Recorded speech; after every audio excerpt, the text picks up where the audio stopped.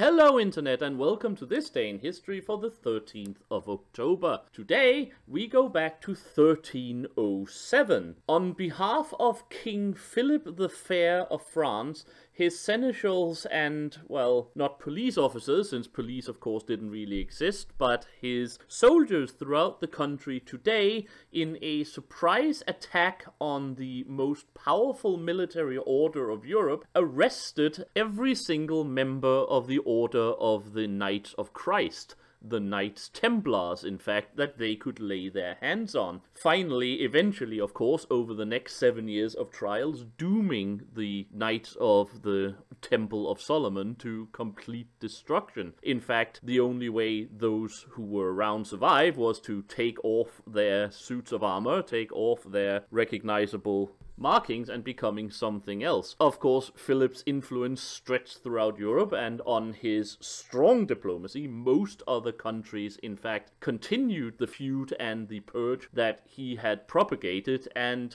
within a decade, the Knights Templars was basically destroyed, having gone from the most powerful force of Christian Europe, the most powerful organized force of Christian Europe, not in a kingdom themselves, to nothing.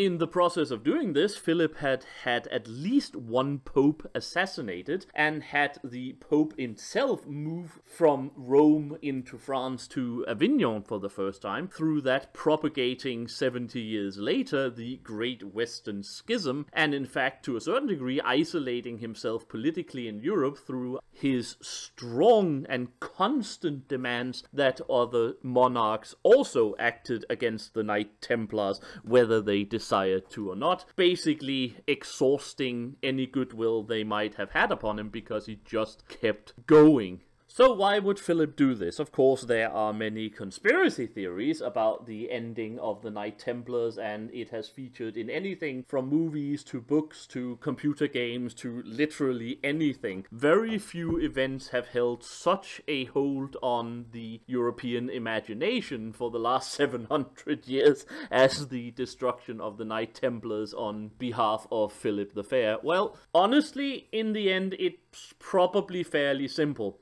the Knight Templars was an incredibly powerful, autonomous religious order within Philip's borders who he didn't have any say over and who basically did what the hell they wanted to. After the fall of the Holy Land in 1291, finally with the defeat at Acre, the Knight Templars had basically lost their reason for existing and while drifting around trying to figure out what then to do with themselves, they had become very strong, they had become fairly arrogant as well, leaving, of course, the fact aside that they were immensely rich. In fact, the Order had directly insulted Philip when he asked to join, saying that they would prefer someone who could actually dedicate themselves to their Order rather than spending time with such inefficient and needless points such as governing France rather than any supernatural or conspiratorial reason, it was probably down to something as simple as Philip being a politician, like most kings would have to be in the 12th and early 14th century, and basically decided that yes,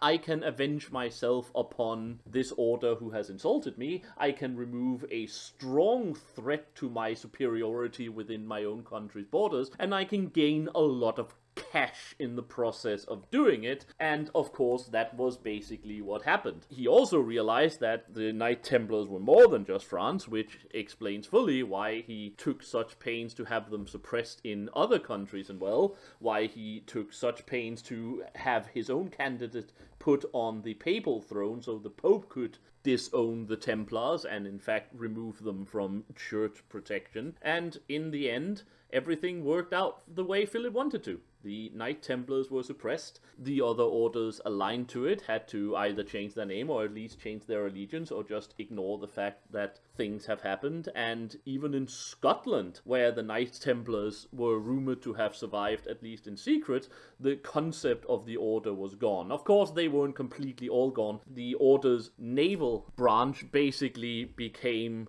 the Portuguese Guild of Explorers that Columbus eventually married into and had help with his journeys 180 odd years later. The Teutonic Knights was an offspring of the Knight Templars, etc., etc. But Philip succeeded. The Knight Templars was dead in 1307 and especially dead in 1314 after the execution of its last Grand Master.